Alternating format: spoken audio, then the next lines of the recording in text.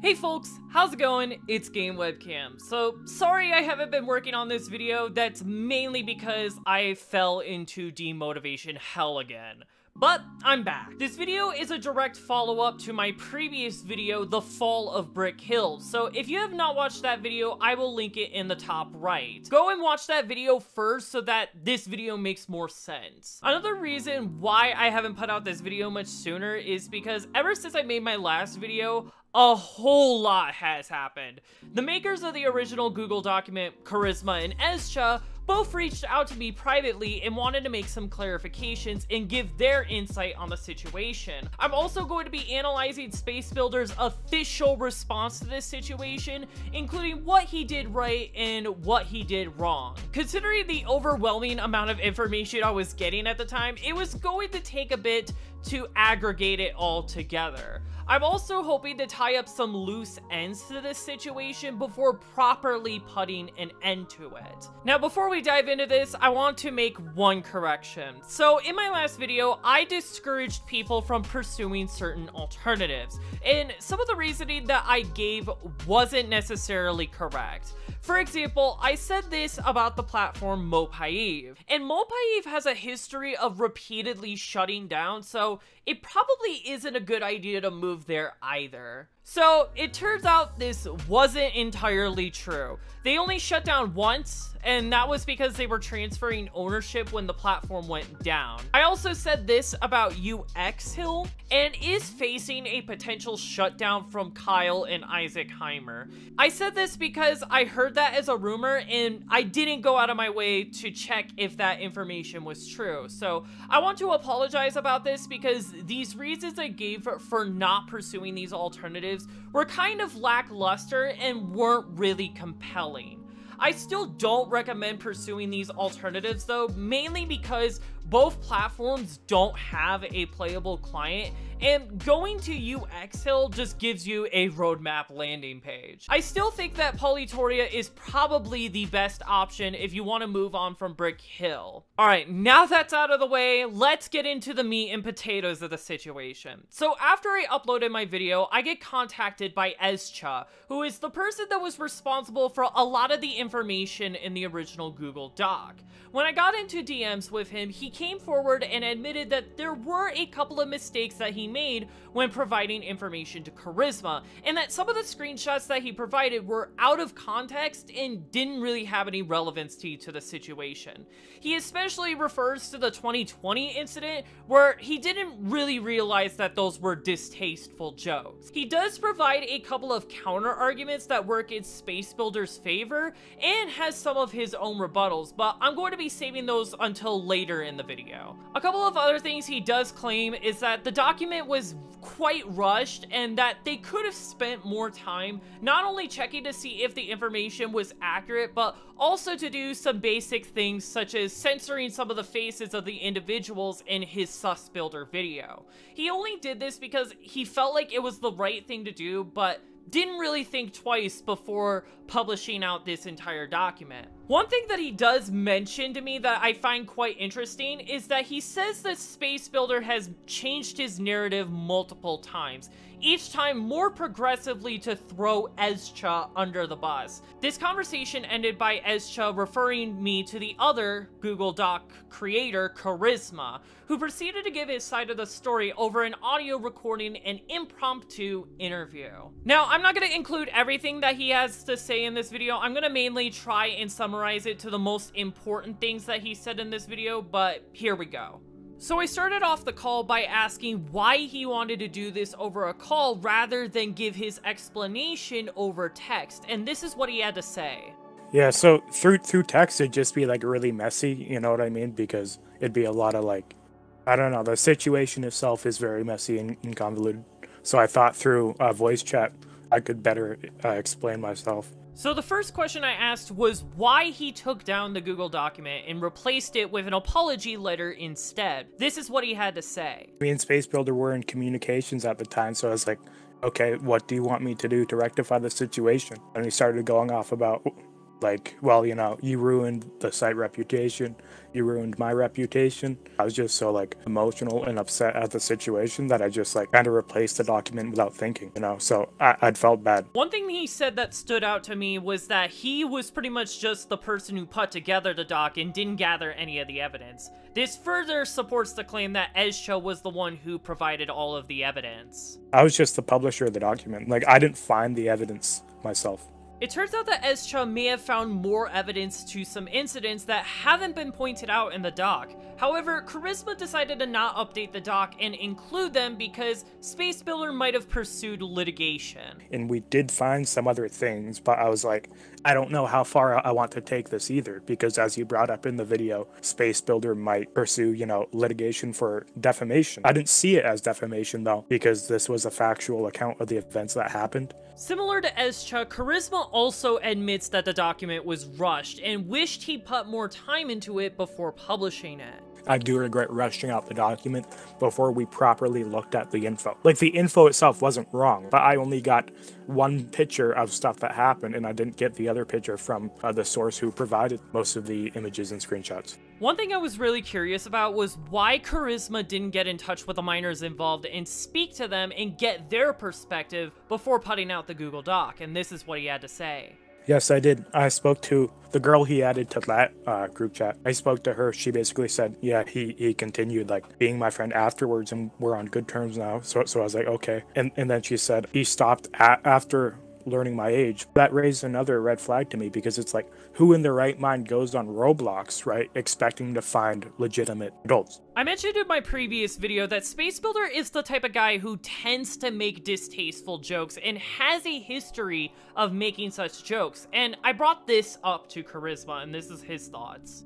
I, have always known him to make, you know, like ed- edgy jokes. He never, like, tried to be weird with me or anything, you know, but he's just made bad jokes, yeah there's a time and a place. You know, I've made some horrible jokes that if Space Builder were to screenshot the staff chat, you know, I would have been like quote unquote canceled too because I made a lot of edgy jokes. But some people didn't see what Space Builder did as jokes, especially after the New Year's uh, incident. So similar to Ezcha, Charisma also thinks he went overboard in calling Space Builder a pedophile. I was wrong in calling him pedophile. I think he is a sexual predator based off the information I have. I think pedophile is like too strong a word. And I think he has like serious issues. You know, he's obviously an alcoholic, but I'm not trying to slander his name, you know, any more than like calling him a pedophile or whatever. We had the right idea, but we just executed it poorly. So I can admit to that. To conclude things off, Charisma doesn't seem to be interested in pursuing this situation any further and is willing to put all of this to rest. Right now, I just feel kind of done with the whole situation. It's been stressful for everyone involved. I don't know if I'm willing to go any farther with this, but if I am, I would I would update the Google Doc, you know, pointing out some misinformation and stuff we got wrong,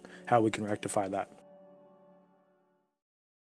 Looking back on these statements, both Ezcha and Charisma backtrack on some of the points they've made in their document. This may have ended differently had they put in the reasonable amount of time and effort into making their document. Now, I did mention that there have been more incidents than what they've listed in the document. However, I'm not going to mention who these people are because quite frankly, that's their stories to tell and not mine. I received both of these statements from Ezcha and Charisma before Space Builder's response. I thought this would be nice because not only would it be nice to hear from the aggressor's perspective, but it is also going to help a lot when we analyze the details in Space Builder's response. Speaking of which, now we're at the point you've all been waiting for. It is time to break down Space Builder's response. I'm going to start off this analysis by giving a summary of Space Builder's response before I tell you what I think he did right and what I think he did wrong. If you want to read the full response, I will have a link for it in the description down below. And I also have it archived in case that link dies. So the response starts off with an update, presumably made in response to Charisma taking down the original document and making an apology letter. Space Builder leaks most of the conversation that occurred between him and Charisma. When listening back to the audio from Charisma, though he is willing to admit something's wrong, he doesn't back down completely. In addition, he described Space Builder as being very upset. All this seems to carry over into the conversation that is seen in the response. The second half of this update includes a draft of Ezcha's apology. Although a lot of the information is fluff, he confesses a lot of the same mistakes that he confessed to me privately. I don't know why the response starts off with this update. I feel like this would have been better if it were to have been put at the end of the response. Space Builder's story starts off with meeting a girl named Alicia on a Roblox game called Mic Up, a game that centers around Roblox's new voice chat feature. Space Builder had an interest in this girl, so he invited her over to a group chat consisting of him and several close friends. Space Builder thought that this girl would be 18 or older because Roblox originally designed voice chat to be an 18 plus feature, but before it rolled out as a public feature, the age requirement was lowered to 13 plus. In order to access the voice chat feature, you need to show ID to prove that you are not lying your age. In the US, the first form of federal ID is usually a driver's license, which requires people to be at the minimum age of 16. There are ways to get ID before a driver's license, however, that's mainly for people who need it for things like traveling by plane, and it is quite rare. I would know because I used to have a state ID before I had my driver's license. When you come across people on Roblox voice chat, it is reasonable to assume that most people will be 16 or older.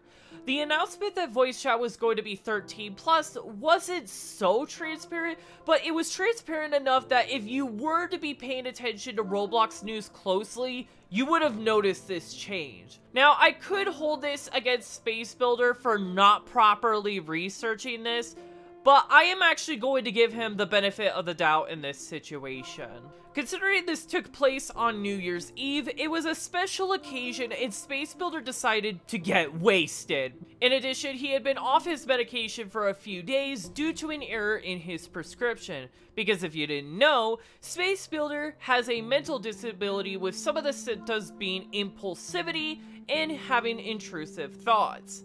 The combination of both of these made for a mentally impaired space builder, meaning it wouldn't be out of the blue for him to not think rationally. And that is when Space Builder decided to hit up this girl and decided to ask for pictures and nudes. He did this not knowing that Alicia was underage, and it wasn't until near the end of the night when he realized that Alicia might have been underaged. The response then goes to talk about how Ezcha is not a reliable source, citing prior occasions where Ezcha has labeled people as pedophiles without proper evidence and that he has a grudge against Space Builder, considering that they have fight quite often over work-related issues, which is detailed in an Imgur collection.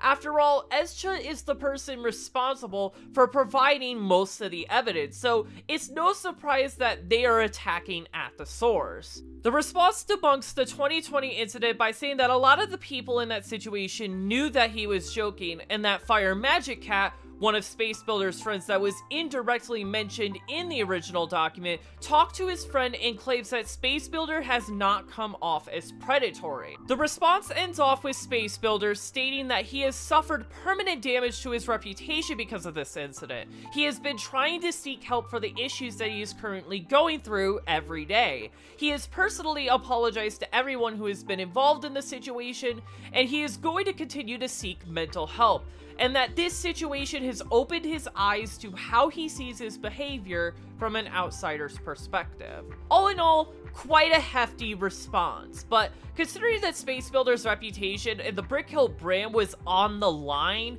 it isn't surprising that he had to go all out to try and debunk everything in the original document. God dang it, Zoe. Come on, man. You do not need to do this. Come on, Zoe.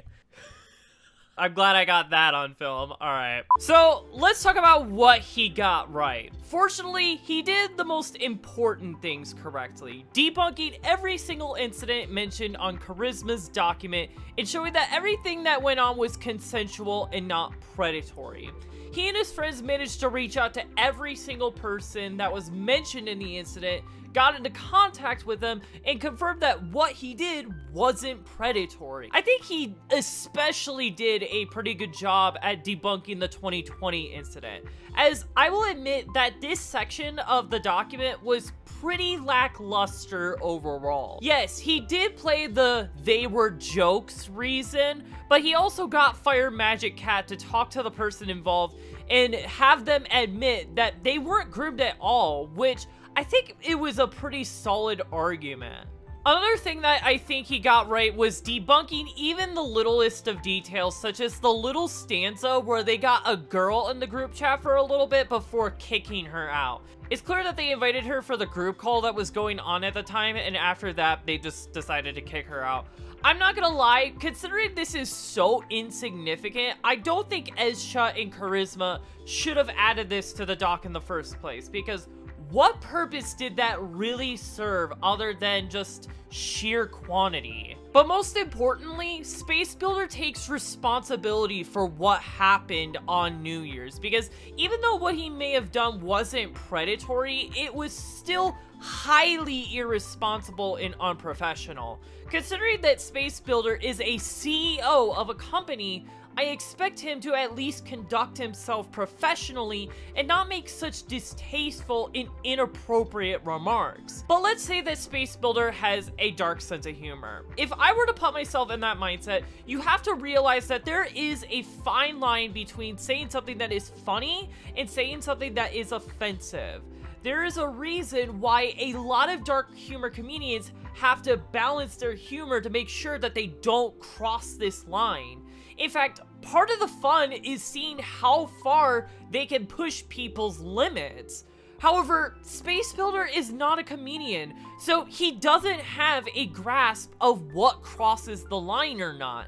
And that's why a lot of these dark humor people tend to just say stuff that is outright offensive and most people don't consider jokes.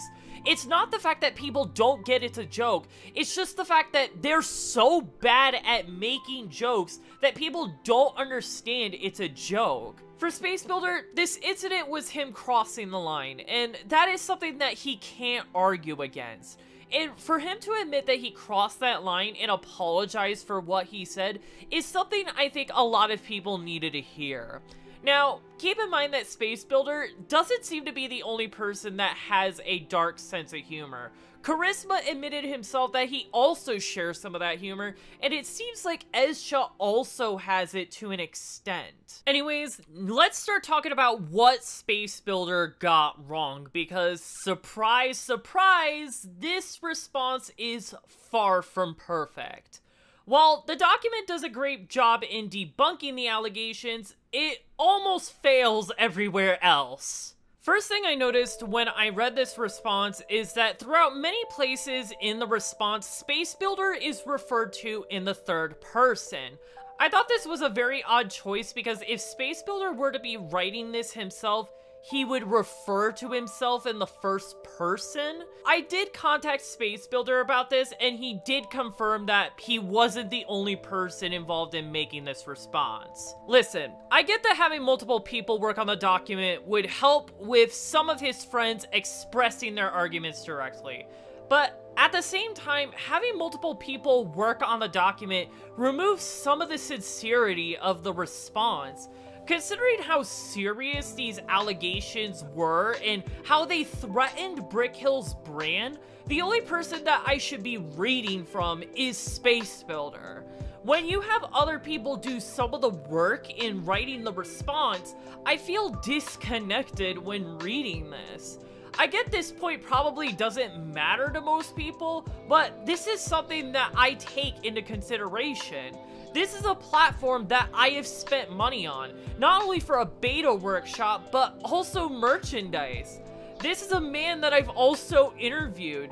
I was hoping that this response would at least be made by Space Builder and not by his staff being an impromptu PR team. But I want to focus on the parts of his document that talk about his alcoholism. I understand that him being drunk is a necessary part in explaining what happened. However, the way that this was said in the document sort of makes it come off as an excuse. It is not uncommon for people to be overly aggressive and reckless when they're drunk, and there's a reason why the law doesn't forgive people for behavior when they're drunk.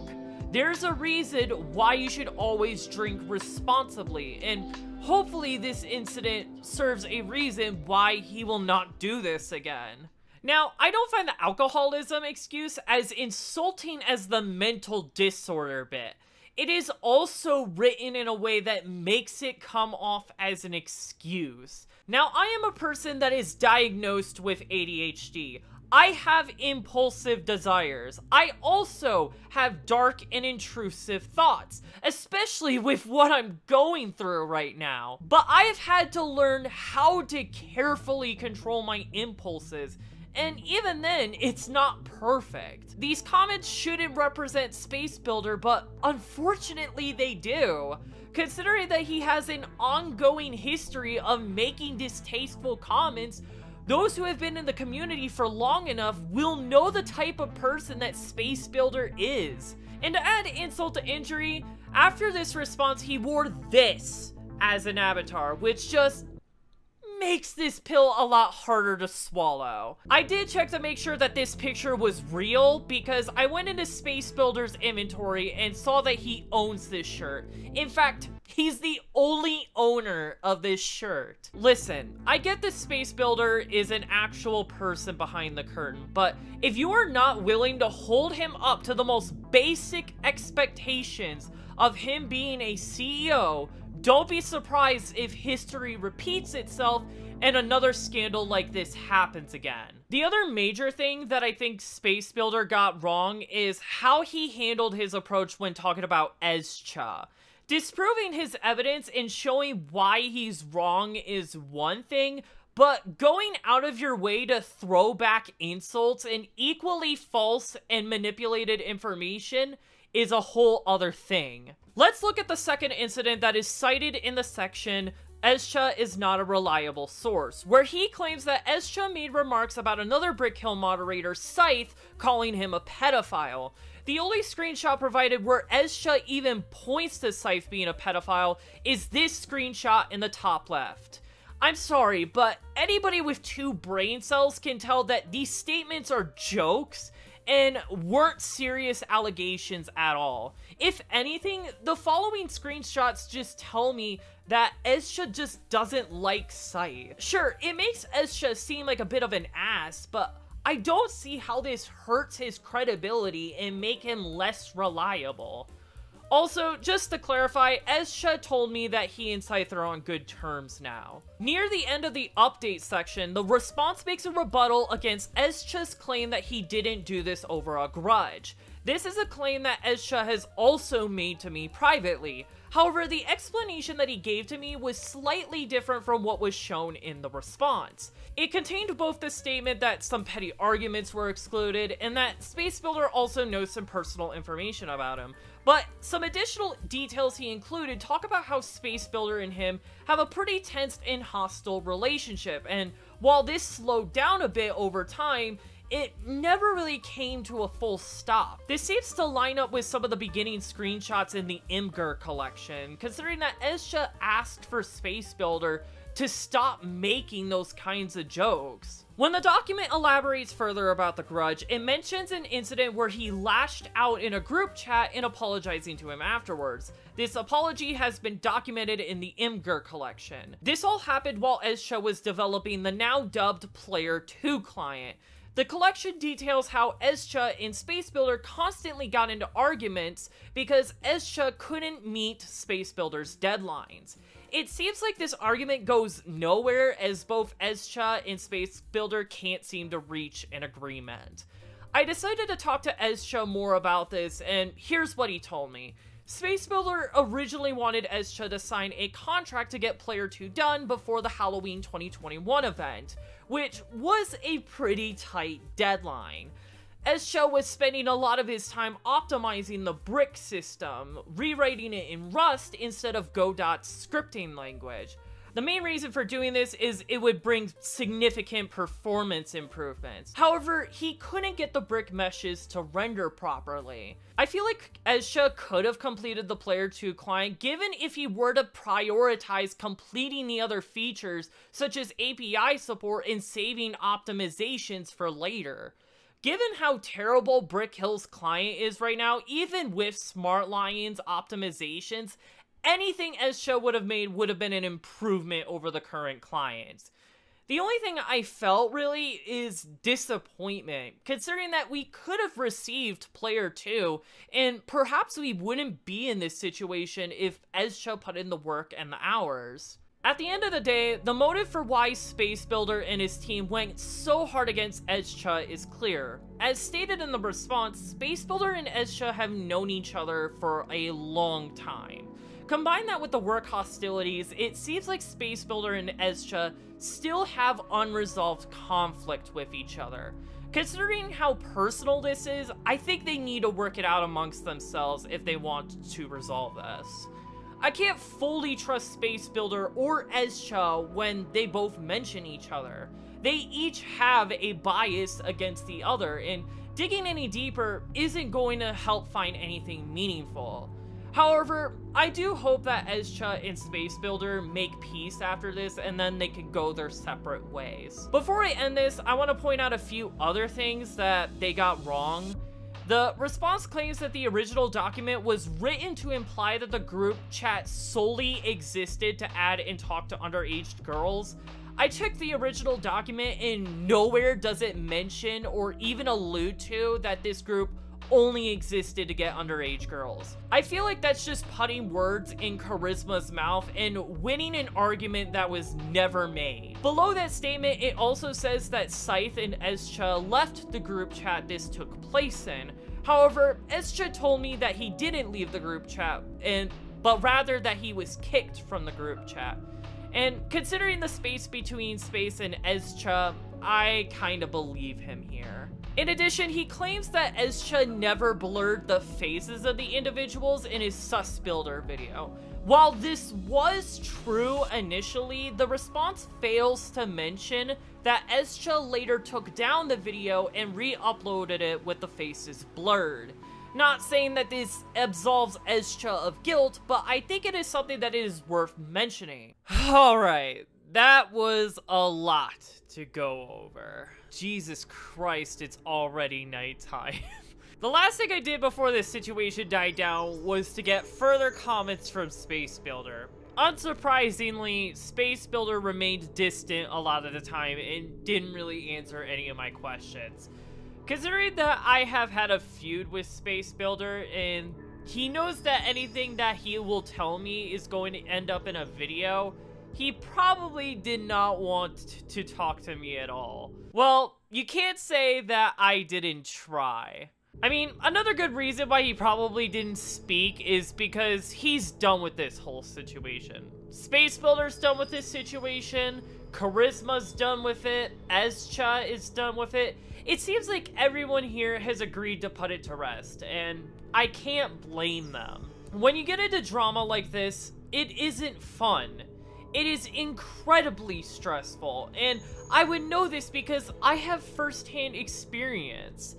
During this whole situation, the community is split into either defending Space Builder or hating him. Two echo chambers quickly formed where people didn't want to reason with each other.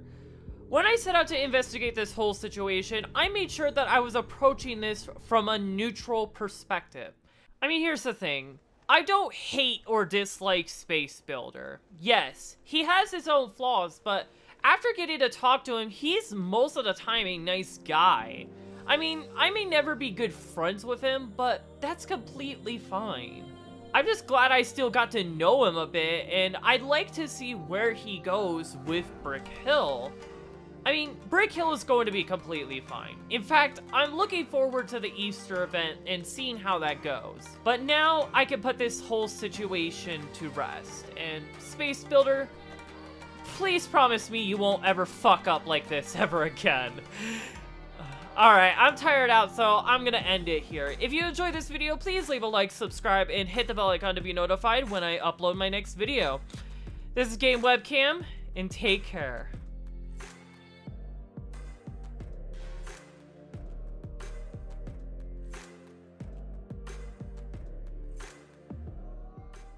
When I looked back on the video, I managed to come across this message. Space Builder confirmed by what the fuck?